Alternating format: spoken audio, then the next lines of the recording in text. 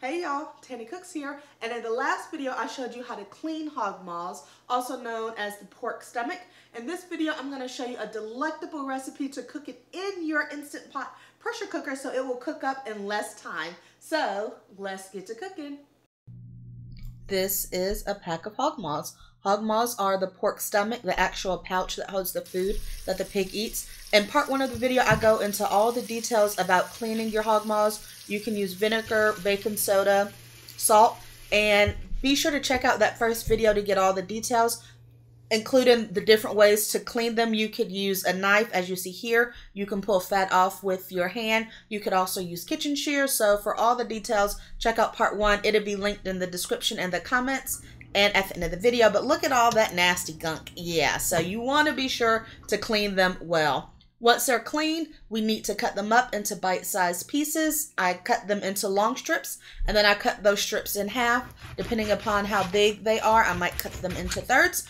And by the time you do that, you have your bowl of cleaned hog maws. Now, for the good part, let's get our seasoning ready. I'm going to start off with washing my bell peppers. I have red and green. You can use any color you like. I also like onion in this. Onion adds a delicious flavor. Onion is full of liquid, so as it cooks down, it will release that natural onion liquid as well as the bell peppers that will help season our hog maws as we cook it in the pressure cooker. Yes, we're going to cook these in the pressure cooker. So on the regular stove, cooking hog maws might take about three hours, three to four hours. But in a pressure cooker, it's going to take a fraction of that time cooking it on high pressure. So I have all of my aromatics chopped up. I have some minced garlic as well as my bell pepper and onions. We're going to use lower sodium chicken broth.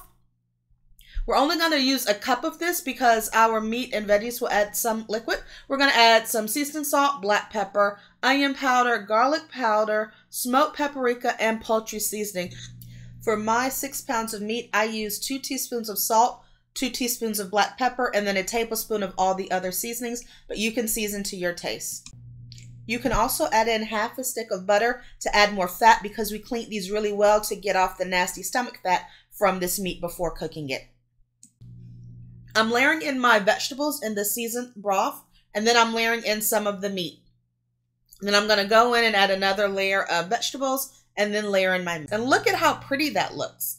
All of this is just with that one cup of liquid. You want to be sure your meat and veggies don't go over the fill line on the inside of your pressure cooker. That's very important. So we're to set the knob to sealing as we cook it.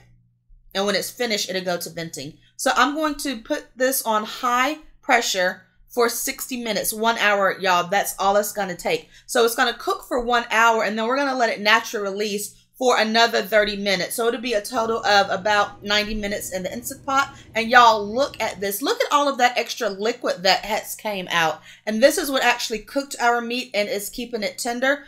It is so flavorful. And I like to serve this over a bed of rice. And so for this day. I happen to make basmati rice, but you can make the rice of your choice. You could also make this with chitlins. The cooking time might be a little bit different if you mix in chitlins, but there you have it.